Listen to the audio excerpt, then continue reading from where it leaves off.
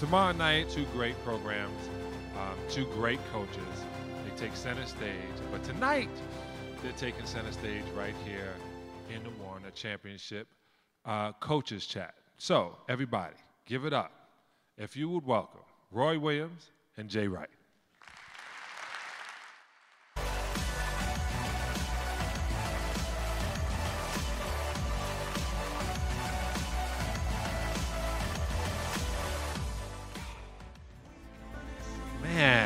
Look at this. Watch this. This this right here is Hollywood. Ready? That's Hollywood right there. Now, if it was me, it would slide out, and uh, Dennis Rodman would be on it. Okay. Uh, how you guys doing? Good, man. We're both still here. Yeah. and it was funny. Yesterday I was watching y'all, you know, it was like y'all both playing it cool, like whatever. Roy, man, I was like, don't pop a blood vessel, man. I need you tomorrow night. well, Oh, coach, I got a knee brace on right now, so I have to be a little careful anyway. this is a great this Werner ladder. I just bought one myself. I'm taking it on the train on the plane with me because. Um, but if you get to climb it, what what does it feel like? It is a little more difficult. I had two knee surgeries and I'm wearing a brace, so I have to be a little careful. So I appreciate you saying it's not rickety or Yeah. anything. But as a coach, I dreamed of being like my high school coach. And being a college coach and going up that ladder and cutting down the nets in the national championship, uh, it's indescribable. If it were the TV commercial, it would be priceless. It would mean a lot of sweat and uh, a lot of screaming and kicking and cajoling and trying to encourage. Uh, really meant something, and yet you should also feel some uh, great feelings for that guy on the other end because everybody should feel great about being here, and yet people just remember who actually cut down the net. But uh, it'd be a wonderful experience, no question. Oh, that's great. Uh, Jay, uh, you've never climbed that ladder at, at a national championship, so Rollie Massimino won't be in your face. You didn't do it, son. Um, what would it be like for you to climb that ladder tomorrow? It, it would be awesome. Uh, I think uh, all of us here, um, I'm usually out there. Yeah. Usually I come to the Final Four, I'm out there. And uh, all of us dream about that. You know, there's only a few guys to get to do it a number of times. And um, it, it would be, it would really mean that our guys uh, accomplished uh, the ultimate goal, you know, and that, that relationship and the bond you have uh, with your guys, you, you feel so good for them that, that they accomplished that. That's, that's really what it is. I would, I would be so proud of them. Uh, that's what I would be uh, thinking about if I ever got to climb that beautiful ladder. All right, um, a full room of coaches. I want you to give me the best piece of advice uh, you received and how it will manifest in tomorrow's game, starting with you, coach. Advice and that we've been given that would help in tomorrow's game. Yeah, like it was given to you was the best bit of advice that you know tomorrow is going to help you. Yeah. Uh, probably stick to your core values. You know, when uh, no matter how big the stakes get, no matter how um, how much distra- how many distractions there are around you, make sure you use your your effort to stick to your core values. Be who you are as a team. Be who you are as a player. What about you, coach? Basically the same thing. And before I even say that, I looked out and I saw Tony Bennett sitting there. Nobody in college basketball, Tony's had a greater year than you have the last three years. We're very fo- lucky. We're very fortunate. You keep knocking on the door and it's going to be knocked down, but nobody's had a better three years than you have. Uh, and you should clap for that because he's had a heck of a team. Okay. I'm like Jay. Coach Smith told me the night I was leaving the next day to go become the head coach at Kansas, said, uh, uh, do what you do, be yourself. Don't ever change and try to be somebody who you are not because you're really good or you wouldn't have done the job you've done for us the last 10 years and you wouldn't be the coach at Kansas. And uh, our players, they know when you're phony. I mean, so you just have to be yourself and hope that our ball goes in the basket a little bit more on our end than it does on their end.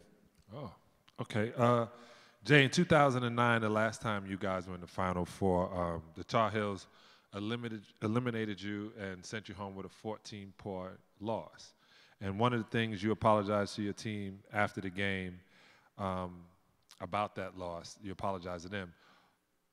Since then, how has that loss shaped your career to get to this point here? Well, I think that loss um, taught us more about playing in the Final Four. That was our first Final Four, and I, I talked to a lot of great coaches. Uh, I would have talked to him, but he, I was playing against him. But I, I talked to Mike Krzyzewski and Bill Self, um, Jim Calhoun, and they gave me a lot of great advice about what you should do when you get to the Final Four. And everything they told me was correct and helpful. But when we got there, there were a lot of other things that I didn't prepare our team for. We, he and I were just talking about this today. We stepped out on that court against Carolina that year, and uh, they had they had uh, Green, Hansbrough, um, Wayne Ellington, Tyler. Roy, you remember those people? we had a better team. I mean, we really true. did, and I'm not. Jay, he could have done anything in the world. Tyler Hansbrough, he didn't care for you were playing, John. He was going to beat your rear end that day, so it made no difference. That is so true. So, excuse me. We were five minutes into that game, and I said, "We're here to play basketball. Those guys are here to win a championship. They were on another level. They were their mindset was a whole nother level, and um, so I, I just took from that that we, we've got to handle all the distractions a little differently. If we would ever get back again, I promised myself, and it's a big if when you're in coaching, that we're going to do it a little bit different. I think we've done a much better job this time of handling the distractions. I'm loving that you're wearing almost Carolina blue just to throw them off. I'm loving that you're trying to throw them John. off. John, we, Roy and I have done so many. This is true. We've done so many media events together. The last one we did this afternoon, he actually said to me, "What are you going to wear tonight?" And I said, "I said I don't know." He goes, "I suggest your Carolina blue suit." So I said, "Okay." No, honestly, we have, have we not? And he actually asked me, "What, what are you going to wear?" I said, I, "I just got, I got a Carolina blue. That's what I got, man. I got to wear it." I'm so happy because that yellow pinstripe thing you had in the back just didn't go.